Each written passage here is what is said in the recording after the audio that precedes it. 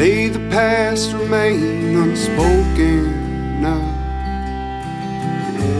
May our love fulfill its vow.